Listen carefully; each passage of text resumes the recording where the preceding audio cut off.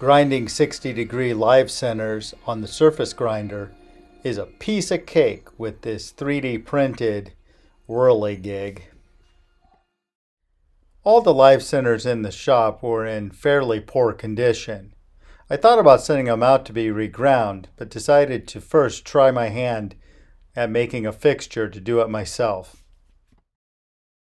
The design is centered around a Morse Taper 3 reduction sleeve. The sleeve will be placed into a 3D printed block and bolted to a 5 inch sine plate. The rotary action will be accomplished using an 8 mm shaft, some skate bearings, and a hand crank. A pulley and O-ring will drive the head of the live center. I oriented the block vertically so that the hole would be reasonably round and straight. The handle and the pulley printed quickly. After removing the rather stubborn support material, I reamed the bore to 32 millimeters for a sliding fit of the uh, reduction sleeve. If we zoom in on the entire assembly, you can see that the sine plate sets the angle for the whirligig. Sine plates or sine bars typically have a standard length of 5 or 10 inches and are used to accurately set up work at an angle for machining or inspection. Sine bars and plates can be manufactured in any length to accommodate work large or small. Gauge blocks are usually used to establish the height. To determine the height of the sine bar setting for a given angle, simply multiply the sine of the angle by the length of the sine bar. In the case of a 60 degree live center, we'll set the sine plate to 30 degrees.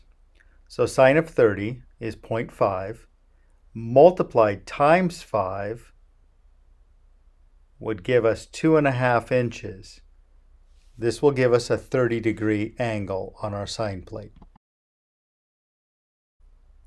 To better understand the sine plate calculation, let's draw a right triangle on our sine plate diagram.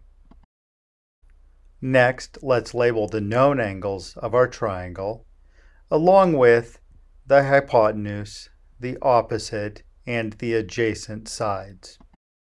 Think back to the basic trigonometry ratios used to solve missing sides and angles for right triangles. The mnemonic is SOHCAHTOA. In this case, we're going to use SO. Sine of the angle equals the opposite over hypotenuse. You can solve for the opposite side, or height, by simply cross-multiplying and reordering the formula so that opposite equals sine of the angle times the hypotenuse.